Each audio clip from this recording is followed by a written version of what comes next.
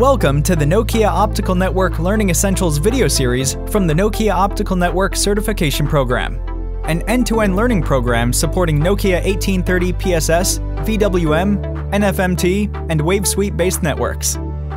In this video, we'll show you how to troubleshoot a channel. This video has been created based on the Nokia Optical Diagnostics and Troubleshooting course. Today, we'll troubleshoot a physical channel issue by analyzing the node alarms, the optical power levels, and by confirming the problem with a wavelength tracker view of the impacted channel. Several ways are available to troubleshoot a technical problem. Depending on the type of issue detected, one or more of the approaches shown here can be used to tackle the problem. 1. Check the documentation available on the support portal. Is it a well-known issue? Is it a real issue? 2 compared the network design provided by the EPT with the current network configuration. Is the actual configuration aligned with the design? Has the initial commissioning been done correctly? 3. Carefully check for alarms, conditions, and logs. Is the problem still present, or has it happened in the past? 4. Check the wavelength tracker information to isolate and establish where the issue is occurring. Is it possible to spot a point of failure in common with several channels? 5 check for performance monitoring to analyze if the issue is recurring, its frequency, and the thresholds crossed.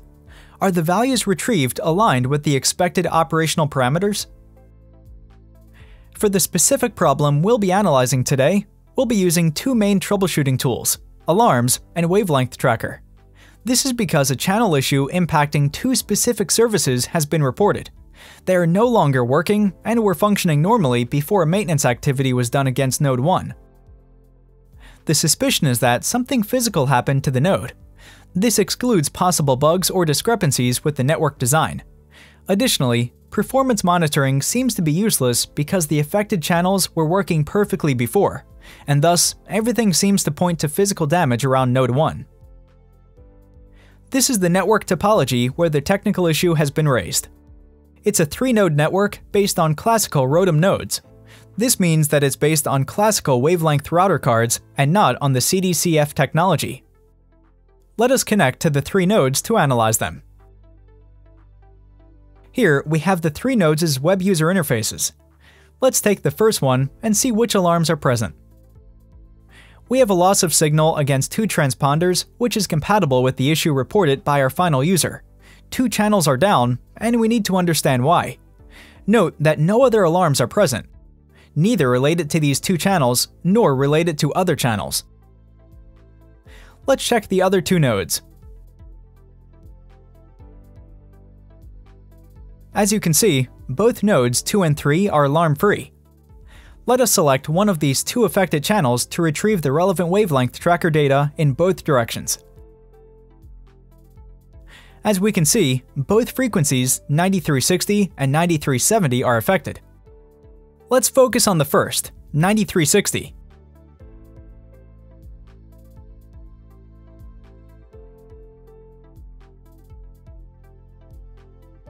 This direction seems to be clean.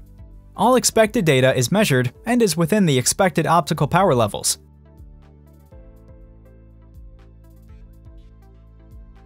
Let us open the opposite direction, that is, Z to A.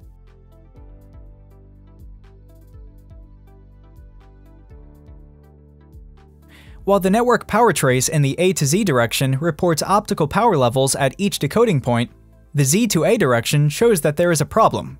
The last endpoint does not detect any optical power.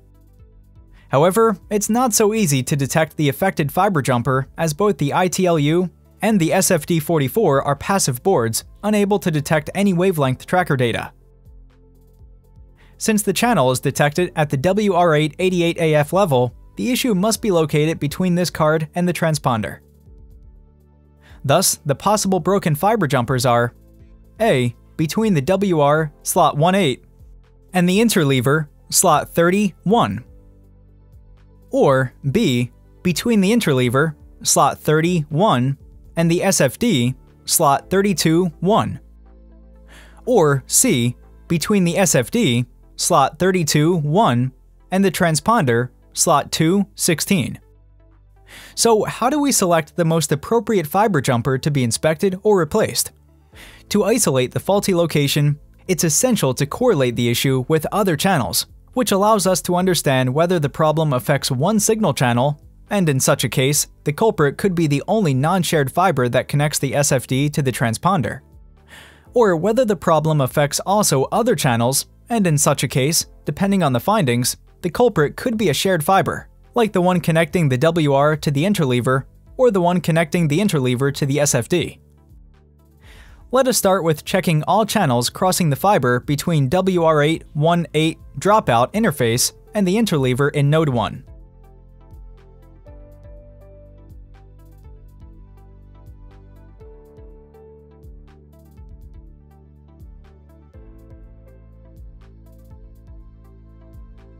Besides the two affected channels, channel 9365 is also crossing the WR8 interface without being alarmed let's check the network power trace of the not affected channel for the same direction, Z to A.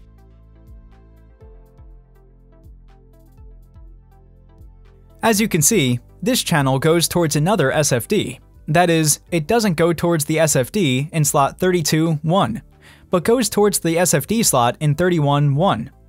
This excludes one of our three possible candidates for inspection. The link between the WR card and the interleaver used by the three channels. At the same time, the issue is most likely due to the only fiber shared between channels 9360 and 9370. The one connecting the interleaver with their SFD, as shown in this image taken from the optical network design. Let's now summarize what we have seen in this video. 1. Several techniques are available for troubleshooting. The support portal, comparison between actual and design configurations, alarms, conditions, logs, wavelength tracker, and performance monitoring. 2. Depending on the issue, one or more than one could be necessary. 3. In this specific example, we used alarms and wavelength tracker, as well as a final check with the network design view to locate the shared fiber between the two affected channels. 4. When an issue affects some channels, but others are working fine, we should think about the most probable point of failure considering that some fibers are in common among multiple channels. Thanks for watching, and look for more videos in our Optical Networking Learning Essentials series. Whether your goal is to enhance your optical networking skills or demonstrate your expertise through one of four industry-recognized certifications, the Optical Network Certification Program is here to get you, your career, and your organization on the right path. Our program features 10 instructor led courses developed by our team of subject matter experts using industry best practices, use case driven examples, and hands on labs. Learn more and get started today by visiting our website. Thank you.